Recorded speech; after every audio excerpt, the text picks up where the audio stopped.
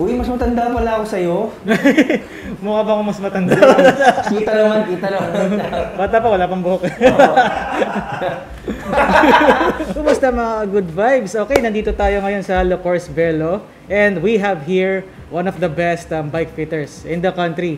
I'm Sir Frederick Ilagan of Forward, Forward Motion Performance. And um, he's the IBFI certified bike fitter here in our country, level 4 pa. We're gonna talk about um, his background, more about his um, way of fitting, and um, of course, magpapa-bike fit na rin ako. We will go through the methods and the processes. And yan, uh, mag-interview muna tayo before we go along the way. Okay, Sir Fred, um, thank you po. Thank Hello. you. Magandang araw po. Okay, so um, tell us something about your yourself and bakit po naisip nyo na maging master bike fitter. Ayan. Hi guys. Most people calls me Martin. My friends calls me Martin. Pero sa schools kasi, when I'm attending uh, schooling, they usually call me Frederick. It's first name. Ano, kaya minsan yung iba tawag sa akin, Fred, Frederick. Minsan tatanungin ako ng mga tao, kano mo si Martin? Kano mo si Frederick? That's just one person lang po. Okay? So bakit ko nga ba po naisipan mag uh, master bike fitter? So it's all started uh, several years ago. When I first star, uh, attended yung schooling, akala ko with the first school I attended, akala ko lahat ng kailangan kong malaman about bike fitting, nandun na po siya. Akala ko yun lang yung kailangan kong gawin. I bought the machine, I started fitting. Pero nakikita ko, parang pag nag-fit ako, okay naman yung sinasabi ng makina, pero parang hindi happy yung clients ko. Parang sabi ko, parang there's something wrong. So it led me to researching. So doon ko nakita na, teka, may mga ibang schools pa pala ako, ibang protocols, ibang techniques na kailangan pag-aralan. So started with one school, led to another, then tuloy-tuloy-tuloy na na sabi nga nila, naging obsession ko na raw yung mag-aral. So honestly, sa akin po, hindi po. I always have questions when working with a client. Ako, I'll be honest. Alam mo yung pag nagtatrabaho ka, parang you're not satisfied with what you're doing na alam ko na mas maganda pa, mas magagawa ko pa sana mas maayos kung alam ko lang yung sagot do sa tanong ko sa sarili ko na paano ko ba maaayos to. Kaya doon po dumating yung point na gusto ko lahat ng pwede kong araling techniques, protocols, gusto ko pwede kong puntang schools, maatenang ko para makita ko kung ano yung approach nila, makita ko yung techniques nila, at malaman ko kung ano yung pwede kong gamitin, ihalo sa sarili kong protocol para mas mabigyan ko ng magandang service yung kliyente po natin. Kumbaga sa akin, um, I'm always looking for answers. Kasi alam ko every fitter has their own techniques. Yun, doon ako interested eh. Minsan may makikita akong fitter from Europe, like fitter from Japan, or US. Sabi ko, parang ang ganda ng results ng mga fit niya. Minsan kukontakin ko yun. I'm going to ask them if it, if it's okay na mag-sharing kami ng uh, knowledge, kumbaga magpalitan kami ng information kasi gusto ko malaman ko anong technique niya. At the same time, baka may maituturo din po ako sa kanila. I always want to give kung ano yung best ko para sa mga clients ko. And gusto ko kasi, sabi ko sa sarili ko, kung ano yung nakikita kong may na-offer yung mga top bike fitters abroad, yung mga galing na fitters in other countries, gusto ko may offer din para sa mga fellow Filipinos po natin. Gusto ko hindi tayo mapag-iwanan, kundi kung pwede pang tayo yung maging top, gagawin po natin yon para alam natin na kumbaga, in terms of equipment, in terms of knowledge, information, protocols and techniques, we can give them everything, the best. Kaya para makatulong tayo na to be able to uh, create uh, world-class athletes in our country. Okay, and um, do you have any um, personal experiences pagdating sa... Paano pag dati nagpa-fit kayo? Do you have any challenges? Kasi parang dati, pagdating sa bike fitting, hindi naman siya ganun ka-popular or parang old school, tansyahan eh. So a- ano po yung naging challenges dati? Ah, dati kasi, back in the day, nauso yung mga gumagamit ng mga angles, motion capture systems. Akala natin, kunwari, pag gumamit yan ng motion capture system, pag nag-green lahat, uy, okay na.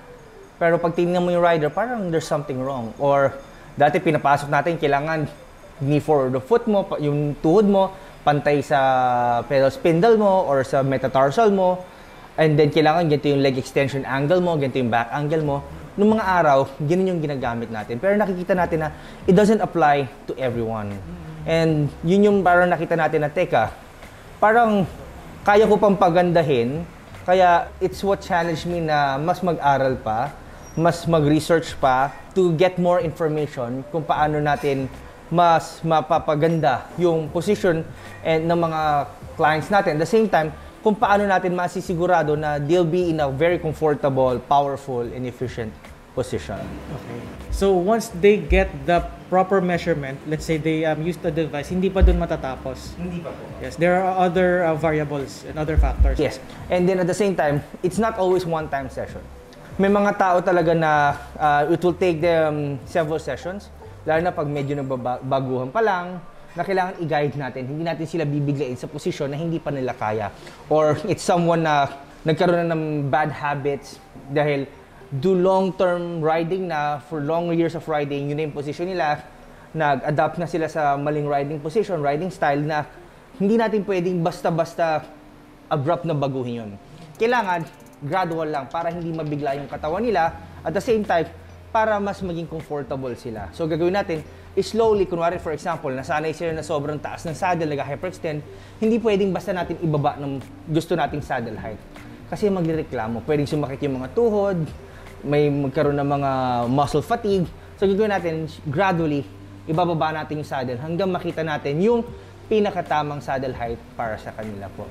Sometimes it takes two, sometimes it takes three, the max I've seen was like seven sessions and then we're really happy with the results after doing seven sessions with the clients. Yung yung fitting kasi it, of course may cost, meron mga fees. Pagdating ba dun sa mga sessions na yon, uh, kasama na din po ba yon or Yes, yes.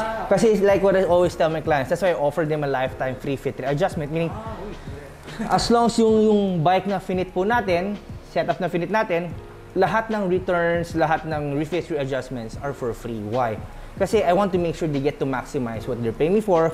They get to maximize the bike. And for me, alam nyo kasi sa akin, yung makita ko nag improve yung riding position ng clients ko, makita ko naabot nila yung goals nila, fulfillment ko na po yun eh. Parang ang saya-saya ko na nakita ko, uy, dati ganito lang yung itsura mo, ngayon sobrang aero na, sobrang competitive na itsura mo. Parang, wow, nagawa ko yun.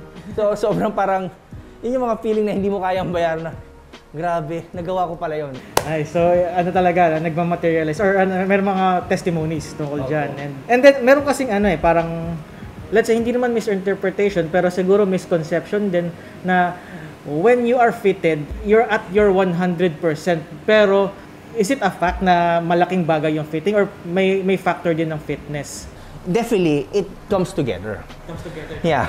If you want to really, a really, if you want to be a really good competitive cyclist, hindi pwedeng bike fit lang. You have to work on your fitness level also. Kasi the fit, the position on the bicycle will depend on your current fitness level. Let's say you want to have a really good aerodynamic position, a really fast time trial position. Gagawin natin yon kung hanggang saan lang yung kaya ng katawan mo. If you want to improve it pa, let's say, we've reached the limit of your position, uh, yun lang yung kaya ng katawan mo, kung gusto pa natin mas ma-improve pa yon, we both have to work together. We'll provide our clients with workouts, we'll tell them to do yoga or work with strength and conditioning coaches. Then through time, as they work on their body, gumaganda yung position nila. Which is what usually happens to some of our top athletes na parang nakita nila, Sir, ayos ah, parang mas aerodynamic tayo ngayon. Sabi ko, it's because of you. You've been working really good on your body. Ako, ginagawa ko lang naman kung ano yung nakikita ko na kaya ng katawan ng clients po natin.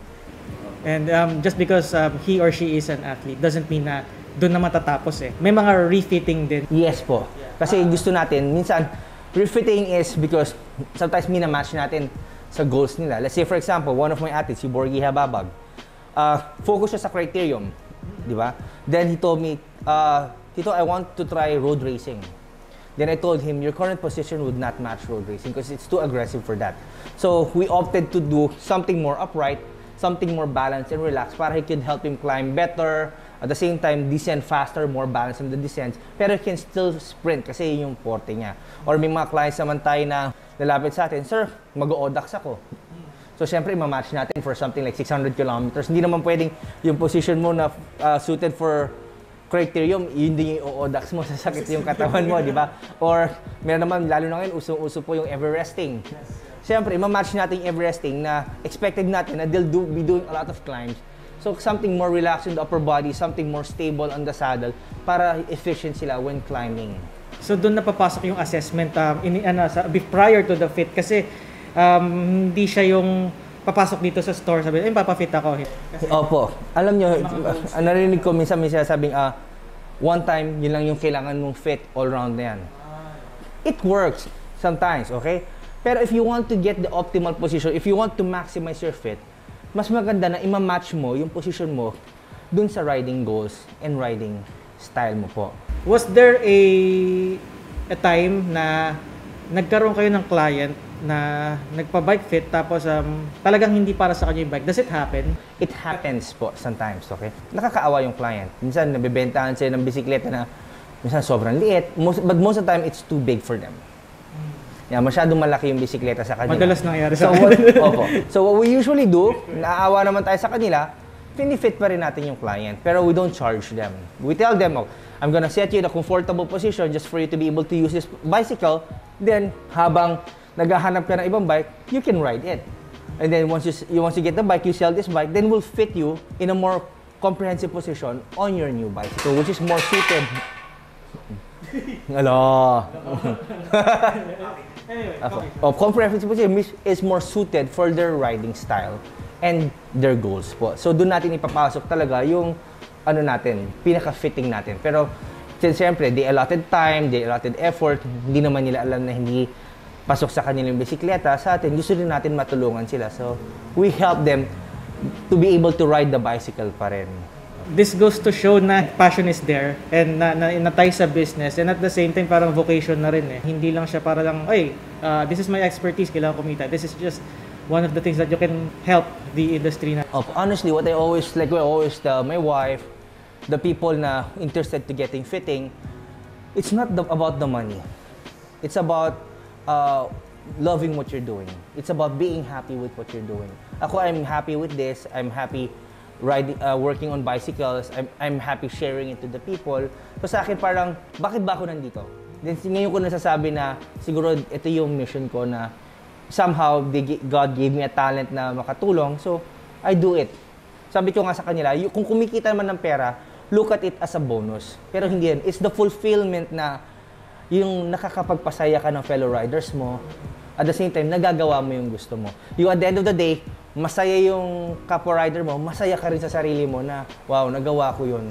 And yun nga yung kasabihan na if you love what you're doing, parang hindi ka na nagtatrabaho eh. Yes, that's Di ba? Yeah, uh, we, we need um, some, for practical reasons, yes. Pero syempre, di ba?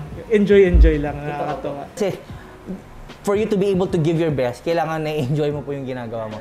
Kasi pag hindi mo na siya na-enjoy, parang hindi ka na enthusiastic. Hindi ka na, hindi, yung mind mo won't work as, yung imagination mo, hindi na ganun ka-focus po. Okay, physical assessment. So, doon po ba tayo magsa-start? Uh, I start my fit with an interview. So this is about you naman po, okay? Ito na. Sakto transition. Yan. I have to know stuff about you like riding style, your past injuries, your riding goals, and uh, the nutrition, is, which is very important. Your past, uh, your diet, and then how your fitness level. Kasi this will tell me an idea on the type of position that I should be putting you into. At the same time, para alam ko kung bakit gano'n ka gumalaw sa bisikleta. Let's say, for example, meron ka palang injury. Alam ko kung bakit medyo twisted ka sa bisikleta. Kasi nasabi mo sa akin yung injury. Para alam natin yung tamang approach kung paano natin i-correct yung position mo dun sa bisikleta. Okay? So, today is September 14. Yes. So, date of birth. Paalam ba natin sa kanila yung edad mo? Ah, date of birth, siguro gawin ko na lang. oh. Basta anyway, ah, October. Uy, mas matanda pala ako sa'yo. Mukha ba ako mas matanda? kita naman, kita naman. Bata pa, wala pang buhok. mano muna, mano. Sir Victor. Your phone number, sir? Ah, 0917 Uh, pakinggan nyo yun ha, para pag may tanong kayo, 0917. Gcash. Gcash. Gcash nyo ha. Tumatanggap din kami ng Laika Gems. Ayan. Dati ko pa napapanood yung mga vlogs mo sa YouTube years ago. Ah, thanks. Opo. Pero niya alam, minsan pag uwi ko sa bahay, ayoko na manood ng mga about bicycle kasi sobrang pagkaharap mo na. Puro bikes na lang. Opo. I, I watch everything. Pero minsan, uy, may bago, manunurin ko. Okay, occupation. Your bike is an Eknal. Eknal R37. Extra small, 44. Riding profile, is this fitness, leisure, competitive, uh, is it uh, endurance? Pwede ba siya ano, in between fitness and competitive. Ah, sige. Try natin doon kasi doon na rin papunta siguro eh. So more of an all-rounder. This is very important. Okay, let's talk about your issues on the bicycle. What problems, what issues do you have when you're riding the bike? Huwag po sa bisikleta ha, yung mismo sa katawan. okay, um, issues. Um, Una-una, syempre yung injury ko. Uh, over time, That's the left forearm, no? the left arm, the whole arm, because of my peripheral nerve injury, the whole brachial plexus was um, was injured. Uh, Actually hanggang ngayon, may numbness ako dito eh sa sa left tapos um, sore yung thumb every time, every day ay, as, as of uh, today. We're able to work with a therapist. Yeah, nagte-therapy ako. Ngayon home therapy na lang. It's been three years already. Hopefully in the near future, I get to try working on that. Kasi I'm taking another course regarding peripheral nerves and stuff naman. Okay, so ang affected sa akin is yung outer bicep, so wala akong supination. Ayan. And then, hindi ko siya maisara ng ganito.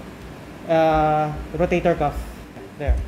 And pag nasa bike ako, over time, nagiging sore siya. So, kailangan ko siyang i-shake or... So we want to make sure we put lesser stress on your arm, on the upper body para mas relax po siya. Yeah. Kasi nagsistiffen ako eh, over time. And then, pag kunwari mga long ride, 150 to 200, sumasakit na yung likod ko. Okay, that's the upper back. And then sa pedaling naman, ito nag-change ako to 160 millimeters. Kaya lang naninibago ako. Ah, hindi ko siya ma- ma-maximize. Hindi ko na ma-reach yung yung usual effort ko na dati sa 170 na crank arm. How long have you been using the 160? About 3 to 4 months. 3 to 4 months. Okay, we're going to check that, okay? It really does take some time to adapt, especially if you got used with the feeling that you have more leverage, more torque. Okay? So it you will have to take some time to adapt going to a shorter crank. It spins better pero I I I understand how you feel na parang pagdating sa crank na parang okay sana yung apak ko kung may, mas madidianan ko. Hindi tulad dito parang pag inapakan mo parang Ang bilis niya eh. parang ang bilis. Parang sabihin natin in a word, parang lamya. Na parang in- tinipilit niya mag-spin. Unlike when you're using a longer crank, na Yes, parang yes. namamash mo siya, nakapower mo siya. Mm, kasi Yeah. talagang nagsimula ako low cadence talaga. eh. Yes. So it takes some time of adaptation. I, I, I had experience before coming from a 170 shifting to a 155 back in the day. Then eventually I got used to it. Um, during those were during my competitive days, but nowadays I'm back to 165. So okay pa rin naman, but yun nga, when you're riding like a mountain bike, you're riding a 172.5, masarap pag yung sudden sudden climb, yung biglang ahon sa the, like sa the, on the trail, parang, uy, ang sarap. Makakaget, ahon ka kaagad on the climb. Nagmamatter ka yung kasi I came from mountain biking. Well, actually, mountain bike sa road bike eh. Most of the time ako nagro-road ngayon kasi If you came from mountain biking, honestly ako, if there's one thing I love about mountain bikers, they're deep, you guys pedal really good. You guys pedal really efficient. Kasi alam niyo yung control sa pedaling stroke, ang galing niyo bumilog ng stroke. Yun yung advantage ng mga mountain biker. Kasi syempre, you have to spin to get the speed. At the same time, pag nasa trail, kailangan may control ka sa crank, sa pedal stroke, para may traction ka when yeah, yung mga biglang akit ng ganyan. you have a left arm peripheral nerve injury, you lack supination on your left arm, you, you have a rotator cuff issue, okay, you're, you have a upper thoracic and cervical area strain, discomfort, okay, your pedaling feels efficient. Do you have any other issues on the bike? I'm going to start asking questions, okay? Do you have numbness on your toes? Nung lumipat na ako sa Eknal na wala, How about arc pain, heel pain, ankle pain? Cramping in the calf, sa isang bike, pero dito, knee pain, no, ah, knee pain, over time, ah, yung muscle sa knees, ah, dahil kasi nasa strain siya dahil sa overwork which part of knee? dito, sa ta- ano. That's the rectus femoris. And hindi pa naman ako naka-feel ng ano, cramps sa Eknal. Not sure lang ngayong shorter na cramps. Alright, next question is about, you have you ever had mga pressures in the genitalia? Yeah, pag ba malayo mga 150, 100 to 150, minsan nagiging numb na. Or, yun nga, may pressure Yung na. parang, are you still there? Parang hindi mo alam, parang, uy. nawala na. Wala, wala siya. How about soreness on your butt, bone area? What area? Yeah, nagkakaroon siya. Ah, Alright. Hip, hip issues? You have? Discomforts? none. Okay. Lower back pain? Lower back pain, none. And kung meron man, natotolerate pa naman. How about the mid back? The thoracic area? Ah, medyo dyan na gumagapang hanggang sa upper. Alright. Any other issues? Hand pressures? Numbness? Okay, forearm. On the left lang. Le- Wala, ano lang talaga, yung, yung mahapdi lang talaga yung tampo natural. How about the elbow? Elbow. Show, uh, how about the tricep and the biceps? Shoulder? Shoulder, yan, ah, para bumibigat siya pag tagal. Is it the left and right? Ah, left and right, pero mostly left. How about the neck? Neck, um, nagsistrain siya um, sometimes. Do you have any chronic pains on your body? This is non-cycling related. This is something that you feel when you're not riding the bicycle. Yes, ah, ito. Yung, this is ah, painful 24 hours. I, I feel pain. Nerves pa rin. Yan, as we speak. Pag minessage natin mamaya, masarap ang kakaya.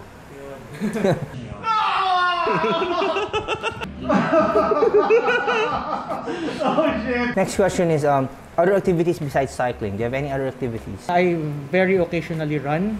Pero lately, nung, nung dumating tong bagong ECQ na off eh, nawala. Yan. And running for ano lang talaga, for fitness lang. That's, and also running is good for cycling. Kasi you know, if you keep on riding your bike, ang nangyayari, wala siyang load, walang stress on the bones. So, nangyayari, due time, nagbe-brittle yung bones natin. And running puts load on the muscles and the bone, which helps strengthen the bones, put mass on it. So, mas nakakatulong siya. Especially, you get to activate different muscle leg groups na will help you with muscle endurance.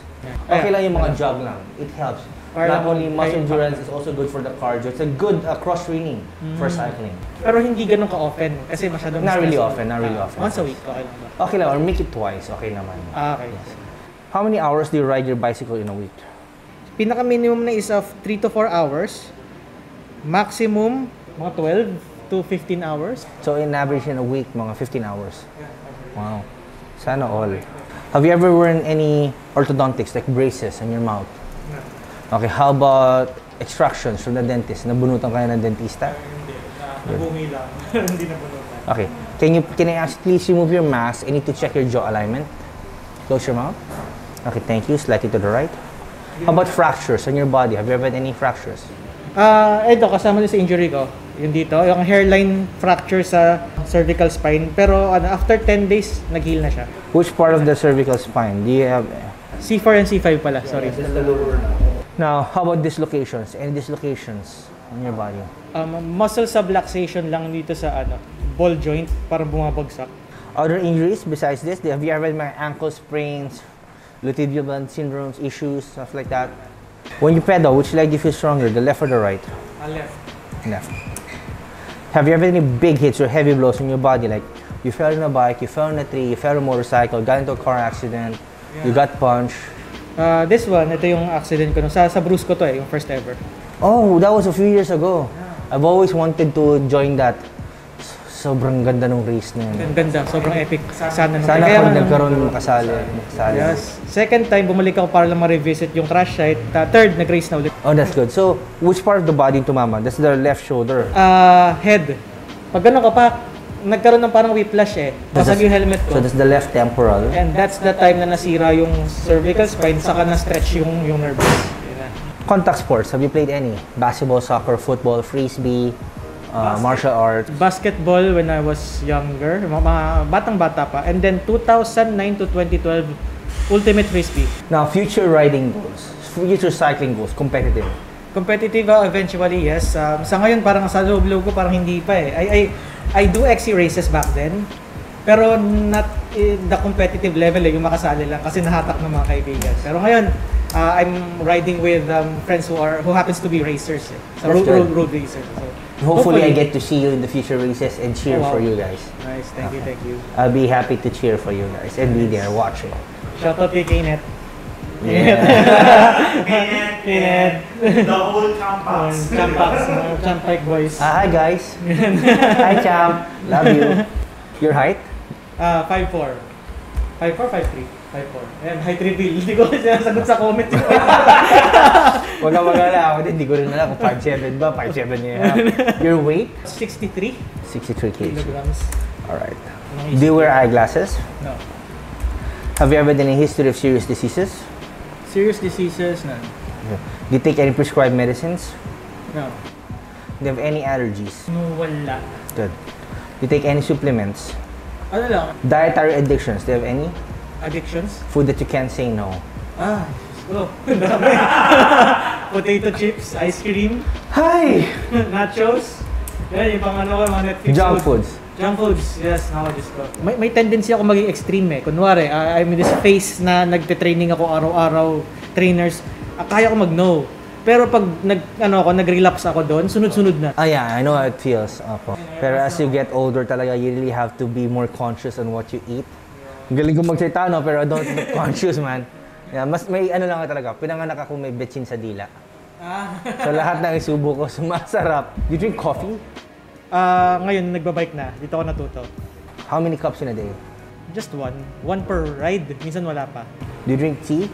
Tea, yes, pero not lately. Good. Bakit hindi pa nausin went to Baguio to grab some coffee? okay, soda? Soda, very occasionally. Wala akong hilig sa soft drinks. eh. Good. Power drinks? Lipovitan, Monster, Red Bull, Pocari! Pocari, ah, for hydration, pero yung power drinks talagang solid. Yeah, I don't consider uh, Pocari as a power drink. It's more of a hydration. Hydration, It's, yes. a, it's a good hydration. Good. Alcohol? Alcohol, ah, occasional lang. Good. Sabado. Ganit. Sabado. Every day is an occasion. Every day is an occasion. So, yan, after bike fit. Do you stretch every day? no.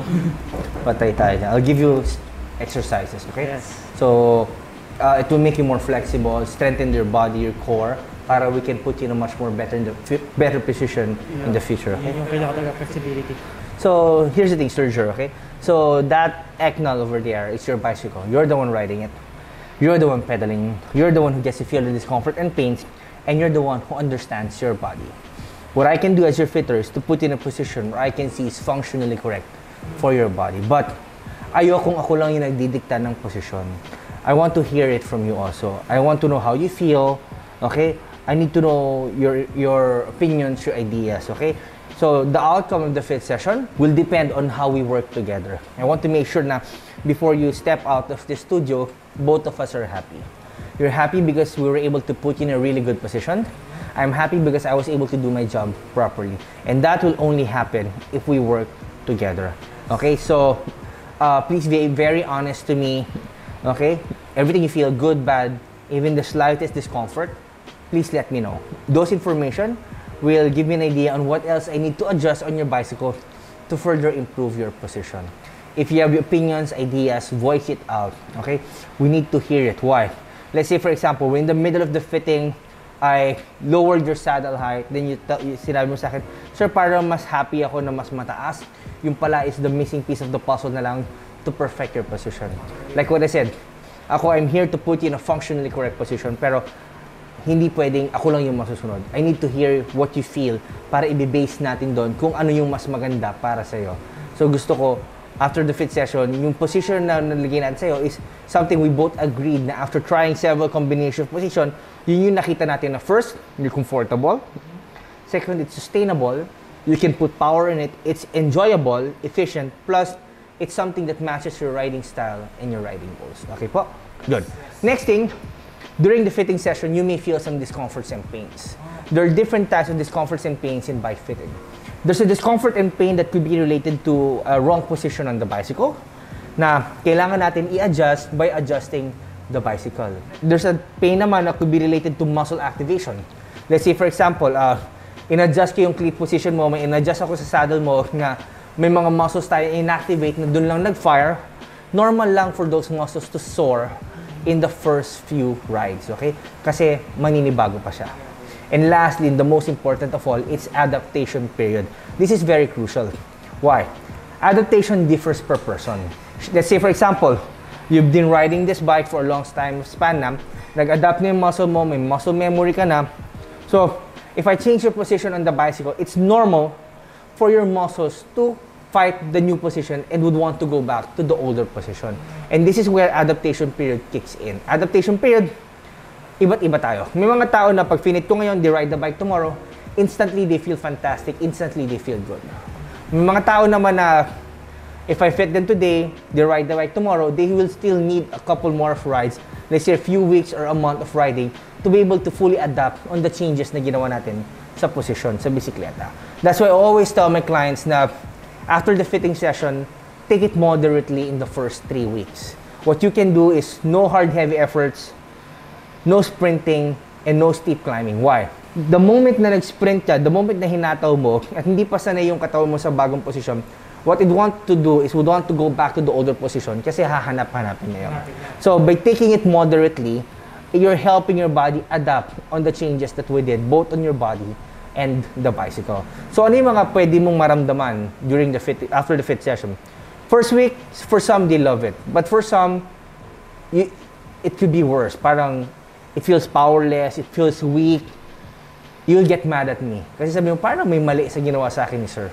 Okay? Second week, starts to be very comfortable, pero still lacking power.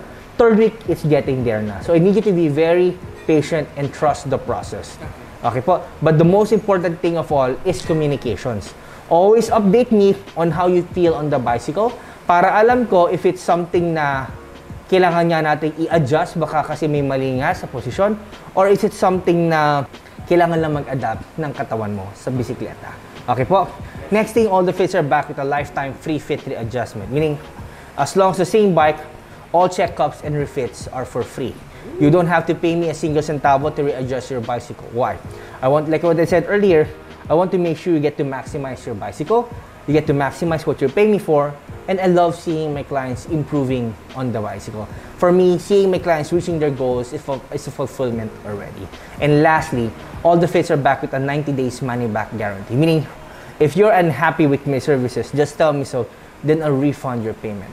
For me, it's an assurance that every time I'm working with a client, I should be giving my best to all my clients. Okay, sir? Okay. All right. Thank you. So, mag-start tayo. I started by working on your insoles. Kasi medyo matagal yung process para So this is Frederick Martin Ilagan of Forward Motion Performance, Steve Hogg certified IBFI level 4 bike fitter and is the only one in Southeast Asia to date. Nag-proceed na din kami sa first part ng process which is the initial interview para mas malaman niya yung background ko prior to the bike fit. This is just the first part of the bike fit series in the channel and may ilan pang uploads after nito. Up next, ipapakita ko na sa inyo yung bagong device at service ng Forward Motion, ang Retol Footbed. I'll share to you my experience, its benefits, at saka pa-reveal na rin. Yan. Size, art profile, and process sa paggawa ng custom insoles. Sobrang interesting nito. Bike fitting rates of forward motion performance varies depending on the location and partner studios and shops. Para sa rates as of 2021, here it is. Send na rin kayo ng message sa Facebook page nila for further inquiries. I hope na marami kayo natutunan sa episode na to and this is just the first part. Sa mga susunod, ipapakita ko naman sa inyo yung proper bike fitting sessions. Kasama din dito yung body alignment, flexibility and mobility restoration, muscle activation and postural correction. So sobrang holistic, hindi lang sa bike, pati na rin sa rider. So, sobrang nakakatuwa. All these in the next episode, i-announce ko na lang sa Facebook page kung kailan ko i-upload. Please subscribe na rin para ma-notify kayo once na na-upload ko na and para ma-notify na rin kayo sa mga informative and entertaining videos kagaya nito. Please like, comment, and share na din. What are your thoughts about bike fitting and gaano ito ka-beneficial para sa inyo? Please leave a comment below. Thank you so much for watching. Until our next episode, ride safely.